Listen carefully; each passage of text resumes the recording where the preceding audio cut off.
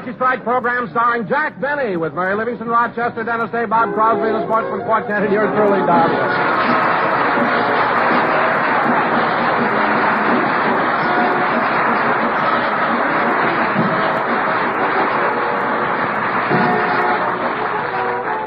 Well, ladies and gentlemen, in exactly one half hour, Jack Benny will do his television show. But right now, let's go back to yesterday and look in on Jack as he's having breakfast at home. Would you like another waffle, boss? No, thanks, Rochester. I've had enough. You might as well go on with your work. But, boss, so far this morning I made the beds, cleaned the rugs, waxed the floors, polished the furniture, scrubbed the linoleum, washed the windows, trimmed the hedge, and mowed the lawn.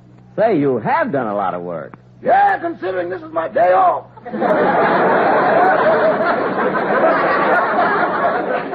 Oh, well, in that case, Rochester, I'll wash the dishes. You don't have to wash the dishes, boss. Didn't you notice I used paper plates?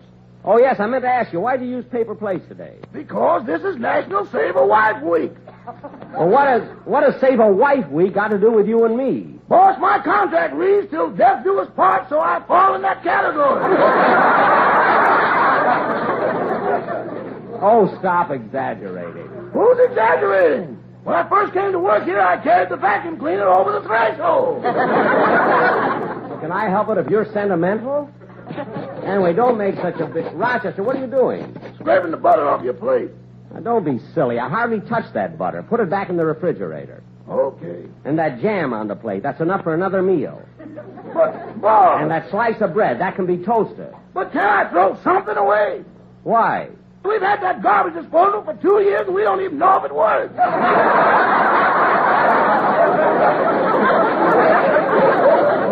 Well, if you're so curious, buy something and throw it in. now, come on, help me set the chairs up in the living room. I invited my cast over to watch the World Series game today on TV. I'll get the door. Hello, Jack. Oh, hello, Mary. Come on in. You know, Jack, as I was coming up the walk, I noticed that the fence the Colmans put up between your house and theirs looks a lot better now. Yes, the ivy has almost covered the barbed wire. You know, it's amazing it would grow with all that electricity. Yes, yes. You know, Mary, I haven't seen Ronnie and Benita Colman in a long time. Oh, I have, Jack. As a matter of fact, I was at a party at their house last night. The Colmans gave a party? Gee, they live right next door. Had I known it, I'd have dropped over. Well, Jack, it was the most unusual party. The lights were out, the shades were drawn, and everybody had a whisper.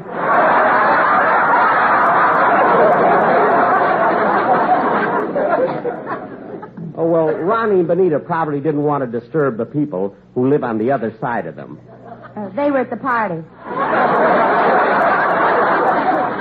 Can't understand them not inviting me. Well, don't feel bad about it, Jack, because everybody who came to the party asked about you. They did? They asked about me? Mm-hmm. Before they took off their hats and coats, they said, Is Jack Benny here? Oh, well, that was nice. Oh, Rochester. yes, boss. Oh, hello, Miss Livingstone. Oh, hello, Rochester. The rest of my gang will be here soon. You better get some refreshments ready. Yes, sir. Are you going to push the hot dogs or the penis today? You're not going to push anything. They'll look, they'll see. If they like, they'll buy.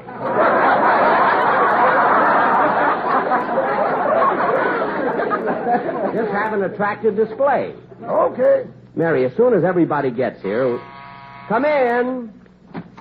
Oh, hello, everybody. Oh, hello, Dennis. Hi, kid. You want to make a bet on the World Series? A bet? Put up or shut up.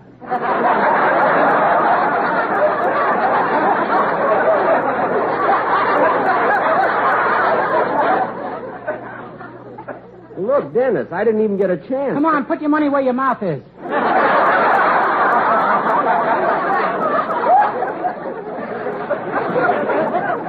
Dennis, I'm trying to tell you, I didn't get a Oh, Jack, don't get yourself so excited. But he hasn't given. Look, Dennis, just let's relax, watch the game, and enjoy ourselves. Don't try to talk me out of it. This is one series I've got to make a bet on. Well, all right, all right, you insist. Who do you want in the series? Who's playing? For heaven's sake. Uh, Jack, Mary. Hey, Mary, watch this. I'm going to teach this kid a lesson once and for all. Now, Dennis, since you seem to feel you have to make a bet on the series, All right, put up five dollars and let Mary hold it. Okay. Here, Mary. Here's my five dollars. Here's mine, Mary. Now, Dennis, listen to this, Mary. Now, Dennis, the two teams that are playing in this World Series are the Pittsburgh Pirates and the Milwaukee Braves. The Pirates and the Braves? Yes. Now, which one do you want? The Yankees.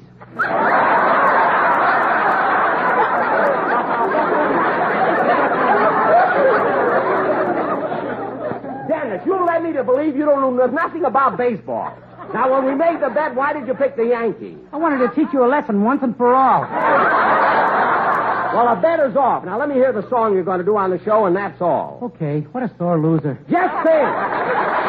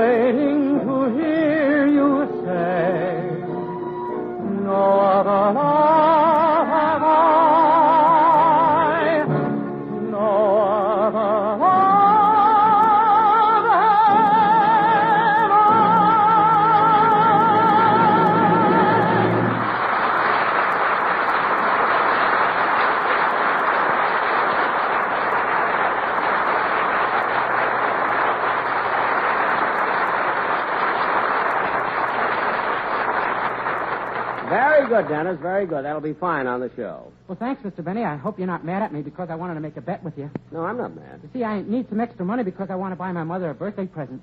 Oh, when's her birthday? Wednesday, and she's having a big party. She's going to have an orchestra and dancing and singing, cake and ice cream and everything. Hey, that sounds like fun. Where's it going to be? I don't know. I'm not invited.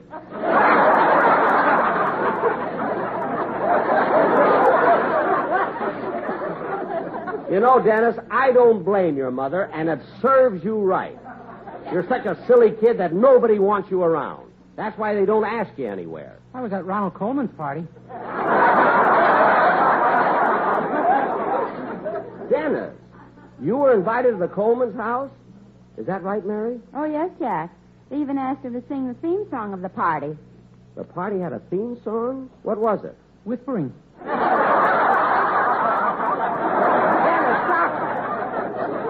Look, I don't want to hear any more about that whispering party at Colman. Now, the kids, the game should be starting soon, so let's go into.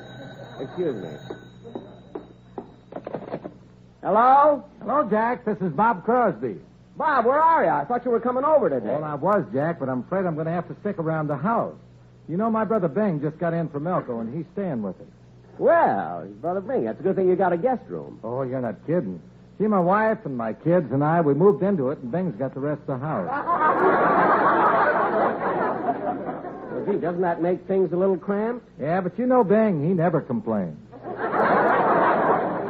ah, I know. Well, give him my regards, will you? I will. Must be nice having your brother around. Well, it is, but, gee, you have to do such strange things to make him happy. What strange things? Well, have you ever taken a bath in Minute Maid orange juice? No, I used to take a lot of baths in Jello, though. well, I'm sorry you can't come over, Bob. Well, gee, so am I. Goodbye. Goodbye. Oh, wait a minute. By the way, Jack, Yes. I meant to tell you, I went over to the Cine Grill the other night, To see Frankie Remley and this makes you want to sit this dance out orchestra. Oh, you did? Remley's Orchestra, huh? Say, Bob, I'd like to ask you something. Since you lead an orchestra, too, I want your honest opinion. How do you think Frankie looks standing in front of the band? Oh, he looks wonderful, Jack. He was playing the guitar and he had a big smile on his face.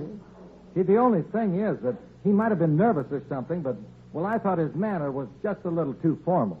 You mean he was stiff? That, too.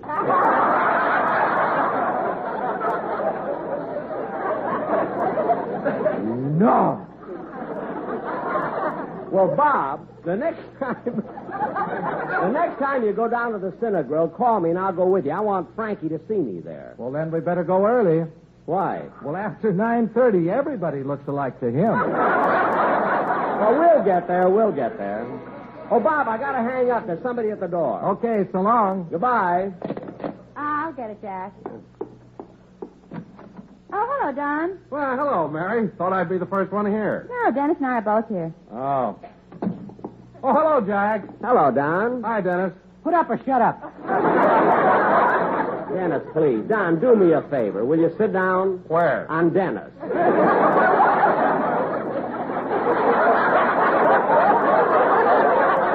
Uh, Jack, What? Uh, let's go in the den and turn on the television set. It's almost time for the game. Okay. Oh, look, there's no rush. We've got nearly an hour before the game starts. No, Don, I've got five minutes to ten. Oh, that's funny. I've got a quarter after nine. Don, let me see your watch. Oh, for heaven's sakes. How can a man of your dignity go around wearing a Mickey Mouse wristwatch? You gave it to me for Christmas. Oh, yeah. That was a mistake. I meant to give it to Sammy the drummer. he can't tell time, and I thought he'd enjoy the picture.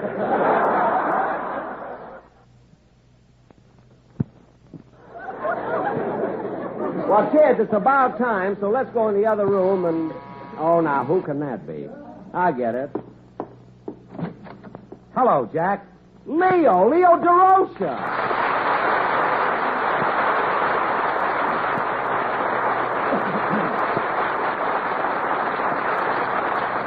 Well, Leo Durocher, this is really a surprise. Well, Jack, I happened to be passing by, so I thought I'd drop in and say hello. Well, that's wonderful. Most of the gang is here, and we were just going to watch the game. Game? What game?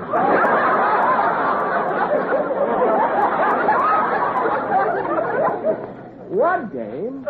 The World Series. The World Series?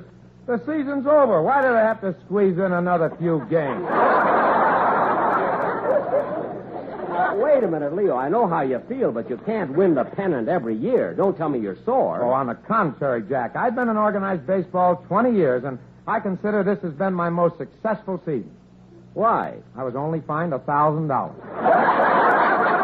Oh, oh, I see. hey, hey, come on, Jack. We missed the game. Okay, but look who's here, gang. Leo Durocher. Leo, you know my cast. Oh, sure. Hello, Mary. Hello, Leo. Good to see you. Hello, Don. Hi, Leo. Hello, Dennis. Put your money where your mouth is. Now cut that out. Say, kids, aren't we lucky Leo dropped in? Now we can watch the game with an expert. Oh, now, wait a minute, Jack. Oh, don't be so modest, Leo. There isn't a thing you don't know about the game. Mary's right, Leo. Why, I consider you the finest manager in baseball. If he's so great, what's he doing here today?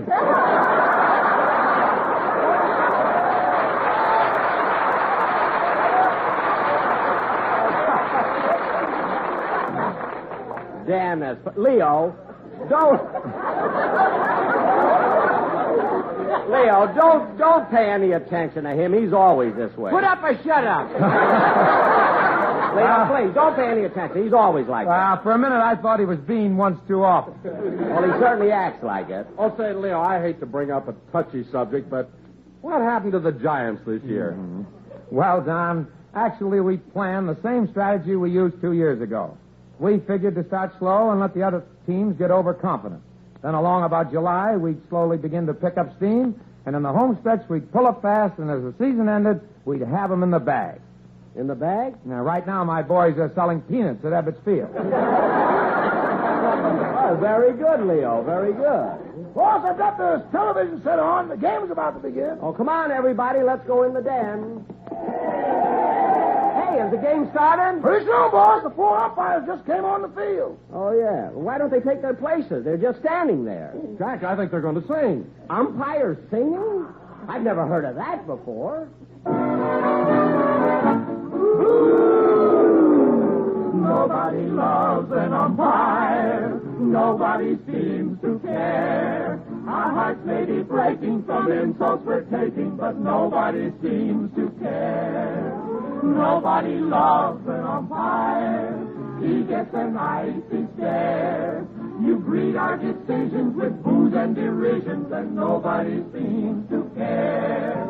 We may be homely, but that's not the reason we're lonely. Although you may doubt us, you can't play without us, so why don't you treat us fair? When you are sitting up in the stand, puffing the lucky and feeling grand, Consider the men who get all the lumps. Are we chumps to be umps? The tears and the booze never bother me, 'cause I know how happy I'm gonna be. For I'll soon be home in my easy chair, enjoying a lucky star. Everyone loves a lucky, just like one, and you'll agree that luckies are made of that fine like tobacco. Yes, LSSMFT. Luckies are better tasting. They're cleaner and fresher too.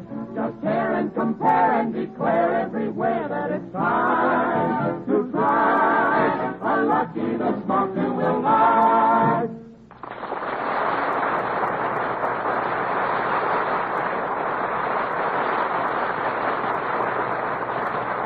Oh, you know, that's the strangest thing I've ever seen. I've never heard of umpires singing. Have you, Leo? None of them ever sang to me.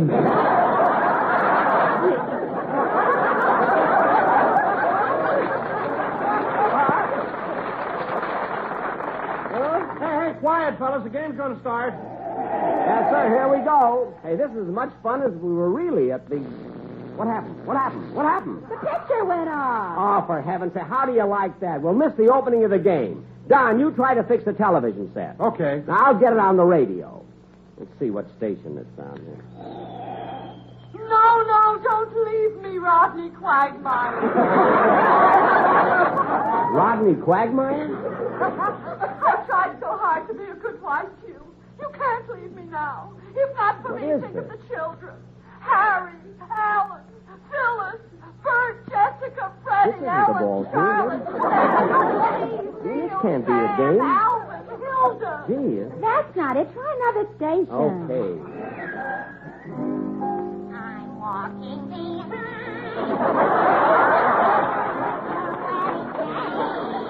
Now here you promise to love me. Why can't I get the game? So you may forget. Awful. Isn't this awful? Where's the ball game? A long, long fly. Yes, a long, long fly. That's it. That's the game. If you have the long ones in your house, call the Acme Exterminator.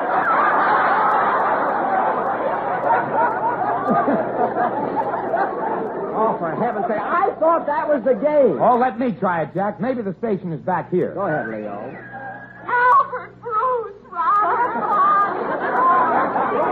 You the ball player. Henry, Helen, Betty, Toulouse.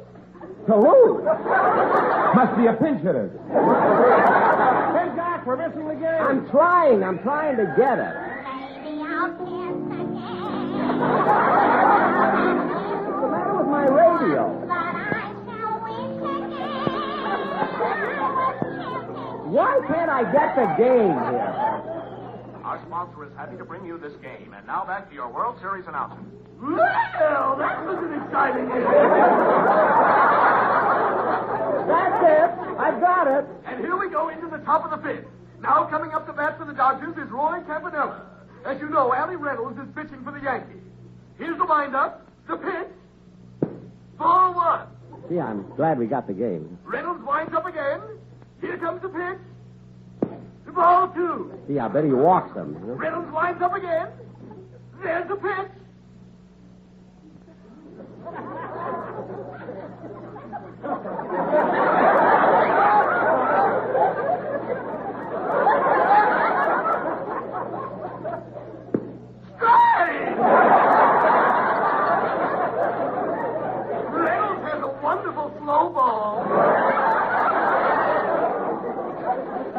Love to have seen that one on television.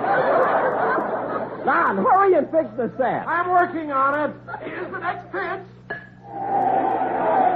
There goes Campanella running down to first, but it's a pop up over the infield, and coming in to take it for the out is Sam Houston. Sam Houston? It was a Texas leaguer. Hmm. and now, ladies and gentlemen, What's wrong with this set now? Milton Harold, for heaven's sake. And our eldest son who ran away from home, Rodney Quagmire Jr. Oh, I wonder what became of him. why can't I get this game here? yes, folks, Hodges is now on first base as the result of a walk. Gee, Hodges walked. And the count on Pee Wee Reese is three balls, no strikes. Here comes the next pitch. Ball four. Hodges advances to second. And as Reese goes down to first, he is saying to Hodges, I'm walking behind. What's wrong with this radio? I want to listen to the game. All I can get is a crummy singer and some woman with 48 children. Oh, we're here in a thrilling game of the World Series. This is your announcer, Rodney Quagmire Jr. and before we go on with the game, I'd just like to say hello to my tired old mother. See, if Mrs. Mac Quagmire ever goes this is your life, it'll be an hour show. And now Duke Snider is at the plate. Here comes the pitch.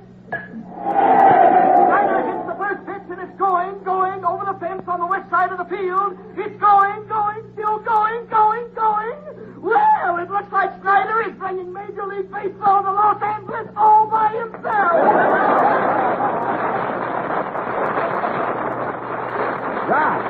He must really have hit that one. Jack, Jack, I got the television set fixed. Good. Come on, Leo. Let's sit here. Okay, Jack. Let me get that set down. I, I know what channel it's on. If things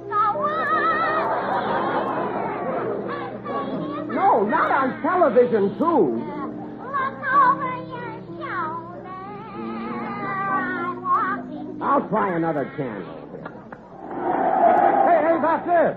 Gee, and it's a nice clear picture, too. Yeah, Oh, look, the Yankees are at bat. Brooklyn must have been put out. Well, that makes the count two and two on Rizzuto. You mean they have that same crazy announcer on television, too? Quiet, Jack. I want to watch him pitch to Rizzuto. Okay, Leo. Here we go. Campanella's behind the plate again. Petero is on the mound. And here comes Whitey Lockman. Whitey Lockman? He's with the Giants. Peanuts, peanuts, get your hot.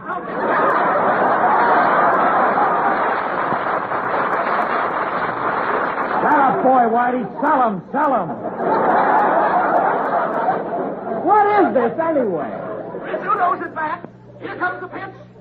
And Rizzuto lines one into center field. He's rounding first. He's trying to stretch it to a double. There he goes. Here comes the relay. Rizzuto slides, and he's out. Out? Yes, out. Well, you bum, he was safe by a mile. Don't tell me I said he was out. Leo. Go on, you haven't called one right all day. Oh, yeah? Leo. Don't tell me my business. You couldn't see that play if you were wearing Jack Benny's glasses. Leo, leave me out of it. Are you trying to insult me? Insult you? Why, if I was there in New Leo. York, I'd punch you right in the nose. That does it. I'm throwing you out of the game. What? Go hard, make it out. Out, out. Oh, yeah? Well, I'll fix you. Leo, put down that chair. Leo, don't smash my television. Leo. Leo. I've never been so insulted in my life. I'm going home.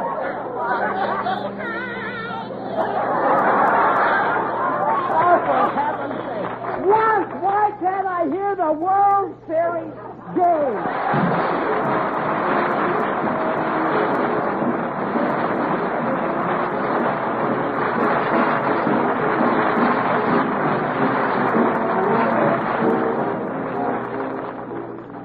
Ladies and gentlemen, I'll be back in a minute to tell you about my television show that goes on tonight at 7 p.m. over the CBS television network.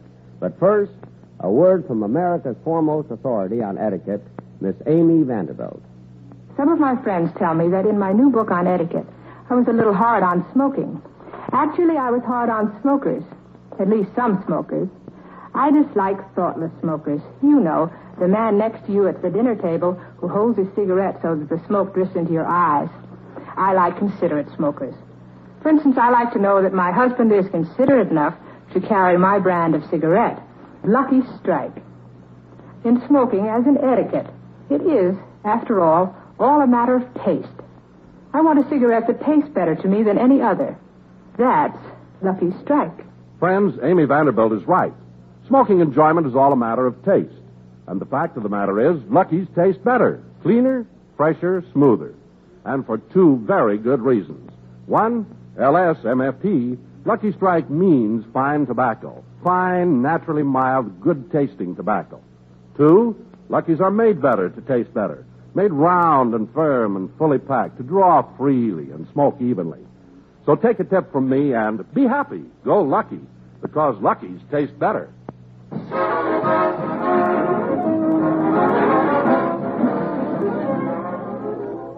Ladies and gentlemen, I want to thank Leo Durocher for not winning the pennant so he could be on my show tonight. and uh, incidentally, at 7 p.m., I'll be doing my TV show over the CBS television network. Say, Leo, why don't you come over with me and watch my television show? Leo, Leo, where are you? I'm walking behind you. Good night, folks. See you at 7.